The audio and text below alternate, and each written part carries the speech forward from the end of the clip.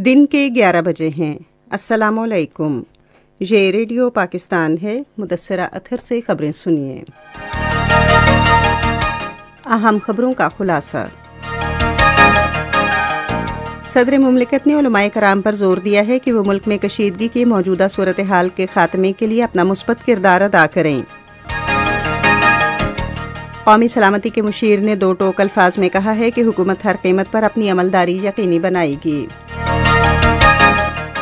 भारत के गैर कानूनी जेर कब्जा जम्मू कश्मीर में मुख्तलिफ़ सियासी जमातों ने टी ट्वेंटी वर्ल्ड कप के मैच में पाकिस्तान की भारत के खिलाफ कामयाबी के बाद कश्मीरी तलबा पर बगावत के मुकदमात दर्ज किए जाने पर बरहमी का इजहार किया और इस इकदाम को इंसानी हकूक की संगीन खिलाफ वर्जी करार दिया। आईसीसी टी ट्वेंटी आलमी कप में आज शारजा में जनूबी अफ्रीका और श्रीलंका, जबकि दुबई में ऑस्ट्रेलिया और इंग्लैंड मद्दे मुकाबिल होंगे। खबरें तफसील से।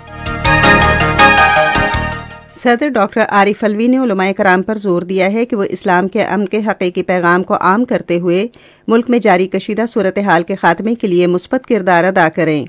सदर ने इन ख्याल का इजहार इस्लामाबाद में मजहबी अमूर के विफाक वज़ीर नूरुल हक कादरी की क्यादत में मुख्तलिफ़ अजला से ताल्लुक़ रखने वाले उलमा के वफ से एक मुशावरती इजलास में किया।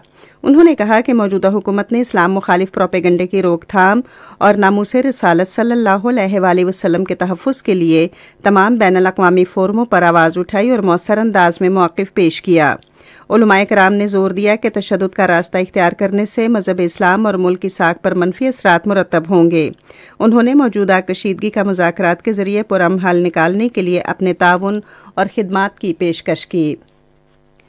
कौमी सलामती के मुशीर मोई यूसफ ने कल अदम तहरीक लब्बैक पाकिस्तान के हामियों पर ज़ोर दिया है कि मामला के हल के लिए हुकूमत के साथ मुजाकर का रास्ता इख्तियार करें और तशद से गुरेज करें। एक इंटरव्यू में उन्होंने कहा कि हुकूमत मुजाकर के ज़रिए मामले को हल करना चाहती है।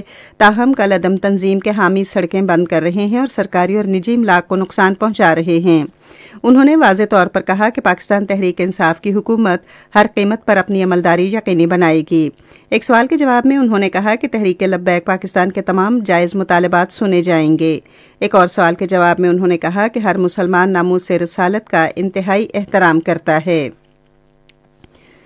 बलोचिस्तान के गवर्नर सैयद जहूर अहमद आगा ने सूबाई असम्बली का इजलास आज से पहर तीन बजे तलब किया है। आज होने वाले इजलास में बलूचिस्तान असम्बली के लिए नए स्पीकर का इंतखब किया जाएगा।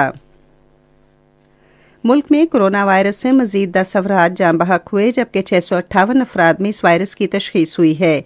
National command and operation centre के मुताबिक इस दौरान पैंतालीस हज़ार छः सौ नब्बे अफराद के कोरोना टेस्ट किए गए और मुस्बत केसेस की शरह एक आशारिया चार चार फ़ीसद रही। एक हज़ार तीन सौ छियासठ मरीजों की हालत तशवीशनाक है। भारत के गैर कानूनी जेर कब्जा जम्मू कश्मीर में मुख्तलिफ़ सियासी जमातों ने टी ट्वेंटी वर्ल्ड कप के मैच में पाकिस्तान की भारत के खिलाफ कामयाबी के बाद कश्मीरी तलबा पर बगावत के मुकदमा दर्ज किए जाने पर बरहमी का इजहार किया और इस इकदाम को इंसानी हकूक की संगीन खिलाफ वर्जी करार दिया है। नेशनल कॉन्फ्रेंस के तर्जुमान ने एक बयान में कहा कि एक क्रिकेट मैच में पाकिस्तान की फतह पर खुशी का इजहार करने की पादाश में जम्मू, कश्मीर और आगरा में जेर तालीम तलबा पर बगावत के मुकदमात का इंदराज मजका खेज है और ये इकदाम कानून के सरासर गलत इस्तेमाल की अक्कासी करता है। उधर श्रीनगर से जारी किए गए एक बयान में पीपल्स कॉन्फ्रेंस ने कहा है कि मुकदमात इंसानी हकूक की संगीन खिलाफ वर्जी है।